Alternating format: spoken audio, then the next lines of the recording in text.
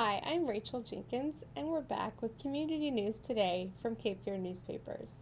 In sports news, former North Carolina State University athlete Greg Moretti will be guest speaker when the adult chapter of the Fellowship of the Christian Athletes meets Thursday, April 14th at the Rose Hill Restaurant on Highway 17 in Rose Hill. This is the new FCA chapter's first meeting.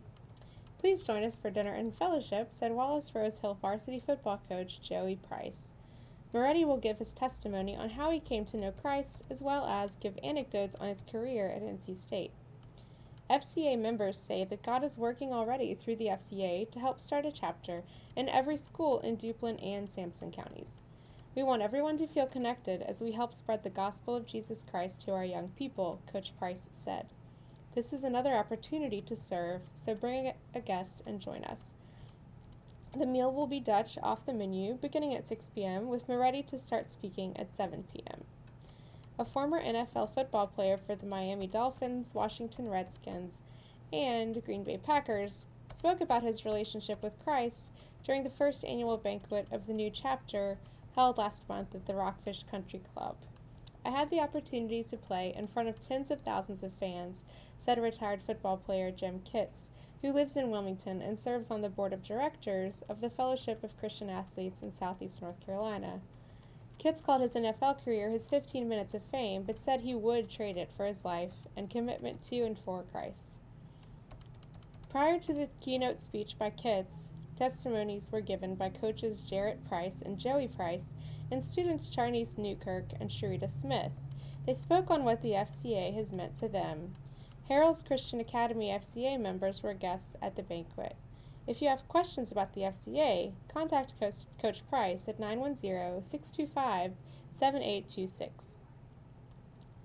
The home team Wallace Rose Hill Bulldogs won a close baseball game Friday night, prevailing 1 0 over James Kenan in a close pitching duel. Sophomore Alex Boyette was the winning pitcher, tossing a complete game one hitter and striking out 11 Tiger batters. The losing pitcher Tyler Haney didn't do so badly himself. He went the distance, surrendered just one hit, and struck out 13 batters. The Bulldogs relied on some timely finesse running to score the game's lone run. In the bottom of the sixth inning, TJ Murrell took first base on a walk with one out. Murrell stole second base and then reached third base on a passed ball.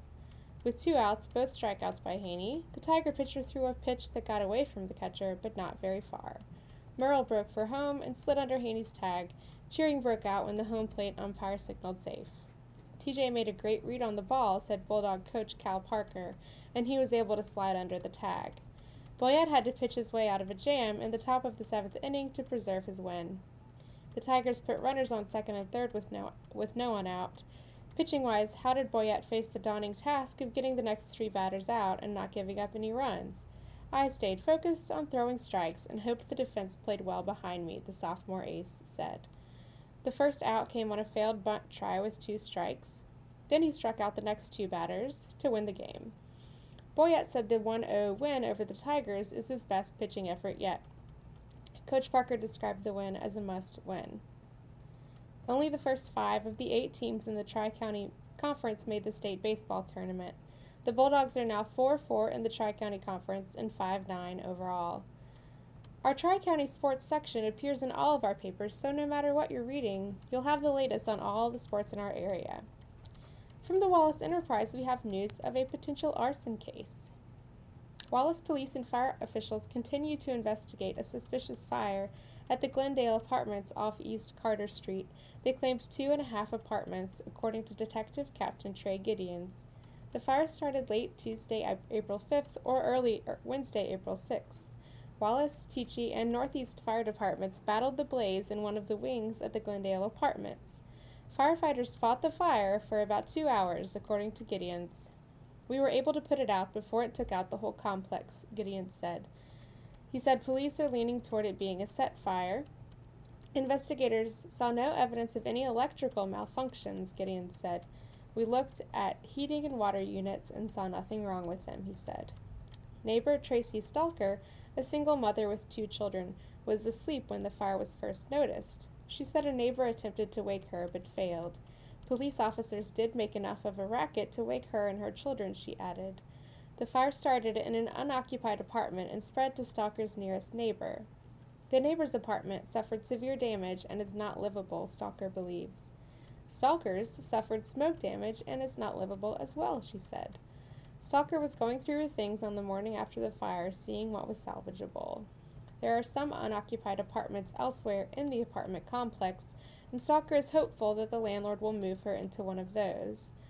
Another residential structure fire, this one on March 21st at 138 Circle Drive, is also being classed as a set fire, Gideon said. However, he is not ready to link the two fires. The March 21st fire severely burned the northeast corner of the house and caused smoke damage. The residents were away from the house at the time of the fire, which started around noon, Gideon said. The fire originated on the outside of the house's northeast corner. That information, as well as tips from the public, lead police to believe the fire was arson. Gideons said police do have a suspect in the March 21st fire, but are not ready to make an arrest. We're trying to get more pieces to the puzzle, he said.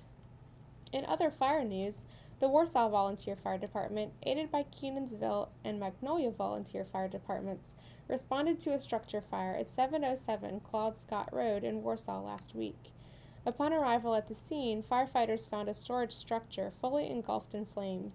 They prevented the fire from spreading to two nearby homes as they quickly battled the blaze and brought the fire under control. The structure and its contents were a total loss. Fire personnel were on the scene for two hours. That's it for today's items from the Wallace Enterprise and Warsaw Faison News. Please tune in to Topics Design TV tomorrow and every weekday at 2 p.m. for more news from Cape Fear newspapers. In the meantime, keep, keep up with us by reading our papers, the Advertiser News, the Pender Chronicle, the Wallace Enterprise, and the Warsaw Faison News. Thank you so much for joining us today, and we'll see you right here tomorrow.